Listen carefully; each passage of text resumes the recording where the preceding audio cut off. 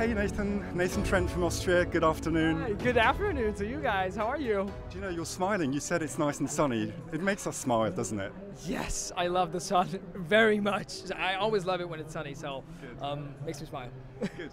Nathan, uh, we're going to ask you a couple of questions, obviously, and uh, because we want to get to know you. And uh, you seem to be very musical because you started playing violin and piano at the age of three. Now you're singing.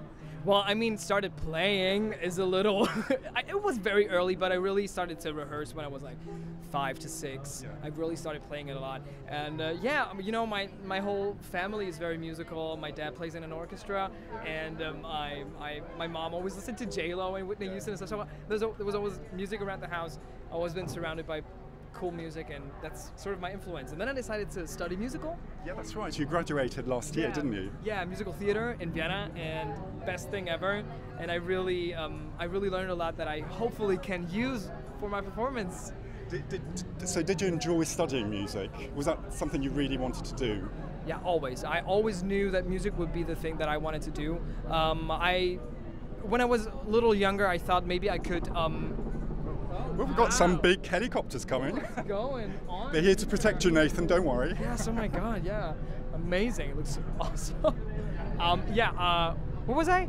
I forgot. You know. Um, so, so, so your musical studies, yeah. Yeah, music. Yeah, I learned uh, ballet, jazz dance. Um, I learned. I have a vocal teacher, so he's amazing. A little bit of acting. Yeah.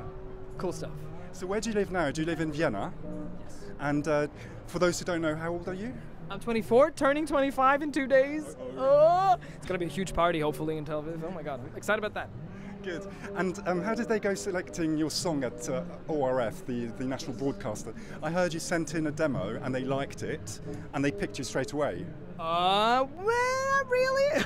the thing is, um, I posted a video of my first single, like it is, and um, after that, Eberhard Forcher, which is one scout that looked for the people, he um, he saw me and he asked me if I wanted to participate in the internal selection.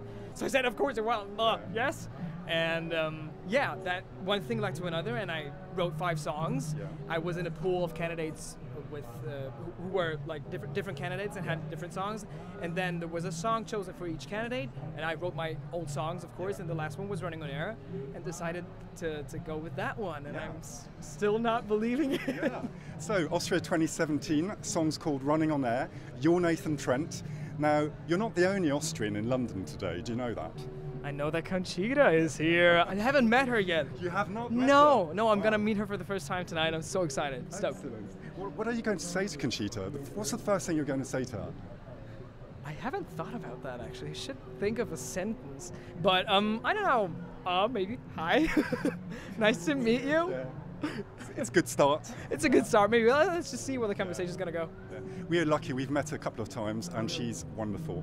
Yeah, I know. She's, Yeah. She looks very professional, Yeah. very, very nice, and um, I think she's she's definitely an appearance when she when she steps into the into the room. Everybody looks at her for sure. Okay. Very nice to meet you, Nathan. And uh, yeah, we, we always say good luck to uh, to you at Eurovision.